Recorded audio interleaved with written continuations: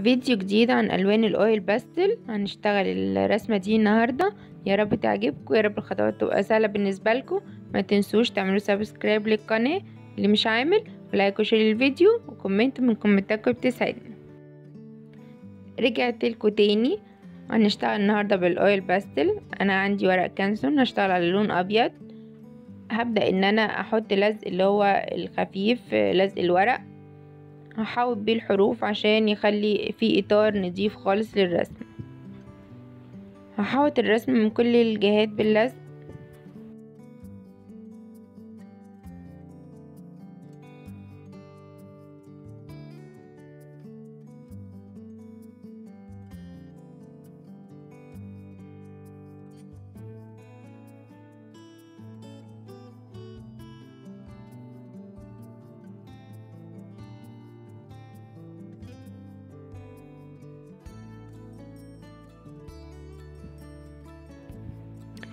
أنا هستعمل ألوان Faber-Castell دي ستة وتلاتين لون. هكتب لكم أرقام الألوان اللي أنا هستخدمها. تقدروا لو بتستخدموا نفس الماركة تقدروا تستخدموا نفس الألوان. عندكم نوع تاني. شوفوا الدرجات المشابهة للدرجات اللي أنا بستخدمها واشتغلوا بيها. أنا هرسم في الأول ال outline بتاع الإيد وبرضو هحط كده مكان للجبال. وابدأ أشتغل. مش هتكلم كتير بقى بعد كده في الفيديو غير لما بقى نخلص خالص. طبعا إحنا خدنا قبل كده إزاي نلون بالأويل باستل إزاي طريقة التسييح وطريقة تدريجه الألوان. اللي ما شافش الدرس ده ممكن يقدر يرجع يشوفه. هنشتغل على طول إن شاء الله. هحاول أسرع لكم الفيديو بحيث إن ما يبقاش طويل قوي عليكم. و وأرجع لكم بقى في آخر الفيديو لما نكون خلصنا خالص.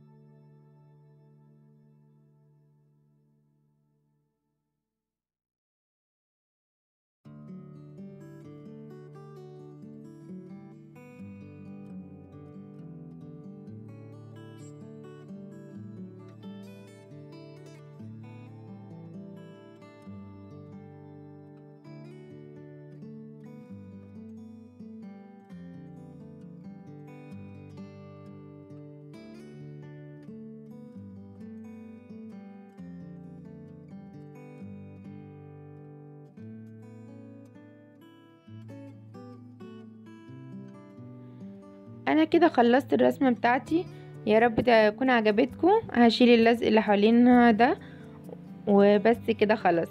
جربوها وابعتولي التطبيقات بتاعتكم. ما تنسوش اللي مش عامل subscribe للقناة يعمل وسيبولي comment من كومنتاتكم بتسعدني واعملوا like و share للفيديو وفعلوا الجرس عشان يوصلكوا كل جديد. واستنوني فيديوهات تانية كتير.